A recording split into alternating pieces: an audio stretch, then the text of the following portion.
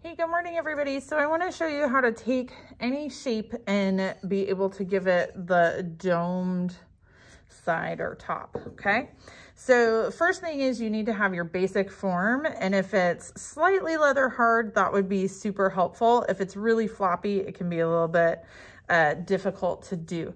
But this can be any shape. I'm gonna use a triangle, but you can use literally any shape. It could be for a square or a circle or some weird crazy thing. It's totally up to you. So I have another slab that is fresh clay already rolled out. So this one's still like super squishy. You can see how it left a mark on the table. And what I'm gonna do to start with is just cut out just a really big basic shape. It doesn't have to match the shape of the project itself.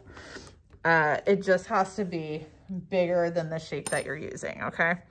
So now that I have this cut out and it's bigger than this triangle, I'm going to set it on top and I'm gonna support from the outside. I'm gonna lift just a little bit and I'm gonna gently push down just a little bit. Now, if you want it to just be a slight dome, then you're gonna do this a little bit.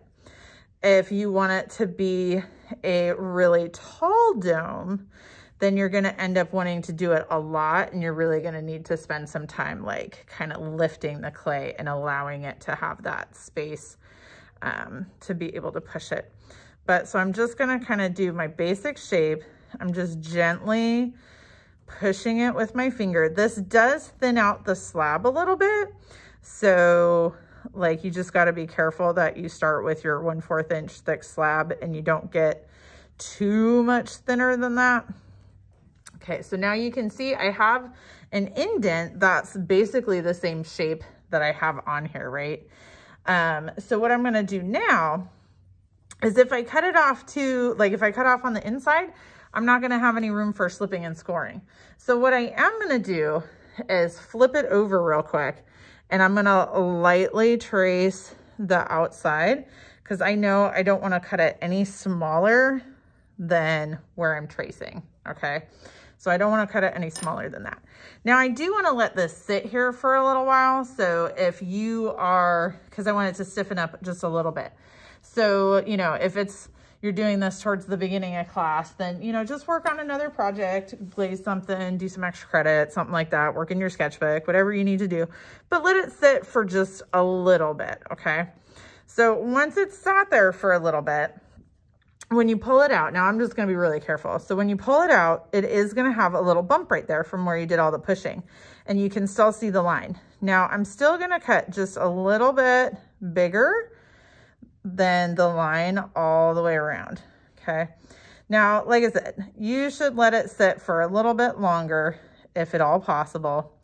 I, because I'm me, I chose not to do that. I have a little bit more experience than some of my students as I've been doing this for either all of their lifetime or most of their lifetime. Doesn't mean you're not fabulous, just means that you're not as old as I am, but that's okay. All right, so once I've trimmed it, it's still really important that you keep that shape. So I'm actually gonna just use my finger and kind of roll this edge a little bit. So I'm pushing from the inside with my inside finger and I'm kind of going like this, just to give it a little bit more extra oomph. So I'm gonna do that all the way around. And then I'm gonna support this edge right here. And I'm gonna kind of use my finger to blend out. I'm gonna support with this finger underneath and I'm gonna blend out that line a little bit because I don't want that. I don't want that line. I don't want it. Okay. So just a little bit all the way around. And like I said, if you do let this stiffen up just a little bit, it doesn't have to be full leather hard or anything like that. But if you let it stiffen up, you can even wait overnight. Like if you start this at the end of class, um, just wrap the whole thing up in plastic and just let it sit on top of your project for overnight, that's totally fine too. But if you started at the beginning of class, you should be able to most likely finish it by the end of class. Okay, so now I've kind of gone all the way around. And I still am trying to keep that nice domed shape. You'll be able to um, stick it back, like dome it a little bit more once it's on there. But at this point, go ahead and check and make sure that, you know, it fits. So mine does, like I'm not gonna have any extra trimming. And you can see like it's got a slight dome shape. Okay, so I'm not like, I wasn't going for super crazy dome. So now I'm gonna do the slipping and scoring. And if you do set this down on the table, set it down on the side you wanna be flat anyway. Don't set it on the side that is domed because you just spent all this time making it domed. You don't want it to like undome, right? So you want to make sure that it stays domed. All right, so we're going to score all the way around. Do, do, do, do, do. Do, do, do, do, do.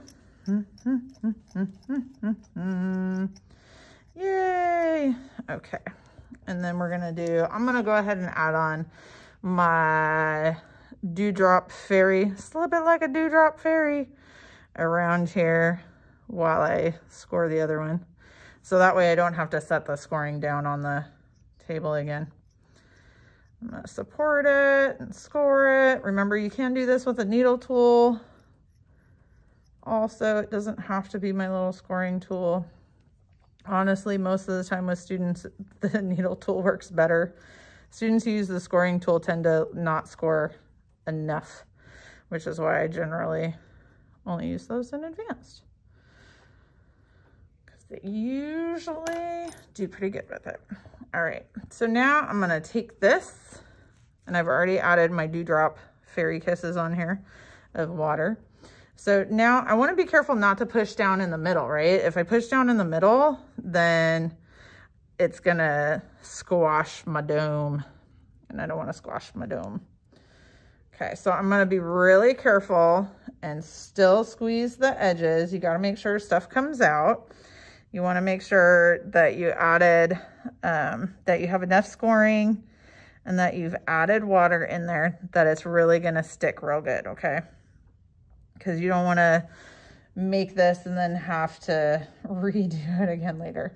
Now, never, like I've said a billion times, never add extra water to our kind of clay.